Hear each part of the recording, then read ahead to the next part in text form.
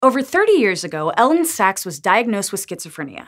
She was told she'd probably live her life at a care facility watching TV, or maybe find work as a cashier if she was lucky. Today, she's a dean at the University of Southern California Law School, a psychoanalyst, and a MacArthur Fellow. Her story reveals just how much we've learned about schizophrenia in the past few decades and about how to treat it. But there are some myths about schizophrenia that haven't caught up to the science. So here's the truth behind some of them. First, having schizophrenia doesn't mean you're indecisive or you change your mind a lot or you have multiple personalities, which apparently nearly two thirds of Americans think is a thing. Maybe they're thinking that because schizophrenia comes from Greek words for split mind. But that's because the patient split from reality, not themselves. People with schizophrenia often experience hallucinations, false sensations or perceptions. 65% of patients report hearing voices, for example, making it one of the most common symptoms. But the hallucinations can also be visual, like seeing movement in the periphery of their vision, or tactile, like feeling things crawling on them. And perhaps not surprisingly, patients often present with delusions as well, false beliefs, like the idea that people are spying on them. Psychologists think those delusions probably stem from patients trying to make sense of their unusual.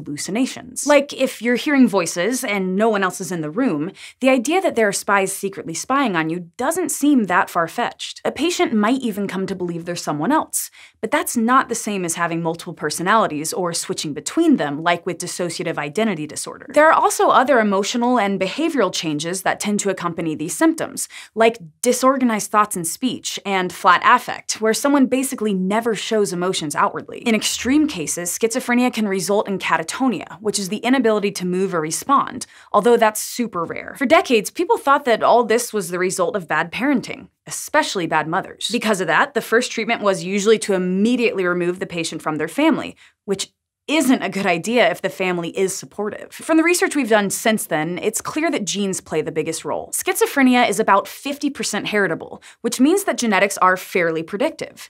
In fact, in identical twin studies, it was shown that if one identical twin has schizophrenia, there's a 50-50 chance that the other one will. And if one of your parents has it, there's about a 10% chance that you'll be diagnosed too. That makes it one of the most highly heritable psychological disorders. Your environment can play a role, but it's not nearly as important as psychologists used to think. For example, a 2004 study found that children adopted to a home with lots of conflict and chaotic relationships were more likely to be diagnosed but that was only if they also had genetic risk factors, like someone else in their family had it. A rocky home life had no effect on the rate of diagnosis in the group without genetic risk factors, which makes sense now that we know more about what's actually happening in the brains of people with schizophrenia. For a long time, schizophrenia was thought to be caused by too much of the neurotransmitter dopamine in the brain, because drugs that blocked dopamine helped with some of the worst symptoms. And the idea seemed to make sense, because floods of dopamine can cause hallucinations, that's exactly how some psychoactive drugs work. The trouble is, these drugs sometimes made other symptoms worse, for reasons that aren't entirely clear. So more recent research has looked into brain anatomy to understand the root of the disorder. Specifically, researchers looked at changes to gray matter, the darker colored tissue that's mostly on the surface of the brain. Everyone loses gray matter between childhood and adulthood as part of a normal process called synaptic pruning, where some connections are lost, but the ones you keep get stronger. But patients with schizophrenia lose a lot more gray matter. And and those losses start in the parietal lobe, an area of the brain that handles sensory information and some sound processing, among other things, which might help explain the hallucinations. There's one more persistent myth that needs to be cleared up.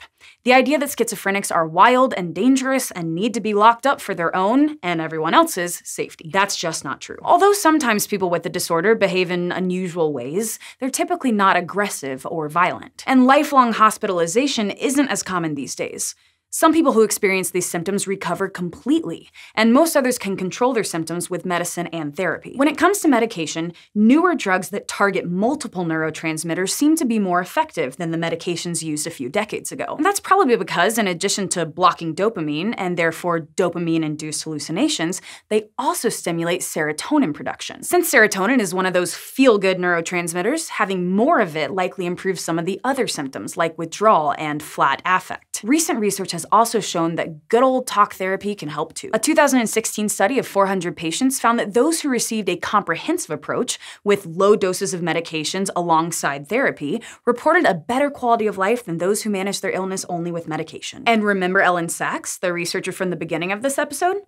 Her work centers around how some patients become high functioning like herself, the factors that help them earn degrees and have professional careers. Many use cognitive strategies like asking themselves if their hallucinations were reasonable, in addition to strategies like distracting themselves with their work. Now, don't get me wrong, schizophrenia is a difficult disorder to treat and has different standards of recovery than more common disorders like anxiety or depression. But a diagnosis doesn't mean you're doomed to live in a mental health facility or that you're a danger to society, just like it doesn't mean you're indecisive indecisive or had a terrible mother. In fact, studies estimate that as many as three quarters of patients recover fully, or at least enough that they can lead fairly normal lives, if they have a strong support network to rely on and get the help they need. Thanks for watching this episode of SciShow Psych. While schizophrenia might not be multiple personalities, you can learn what that actually is by watching our episode on dissociative identity disorder.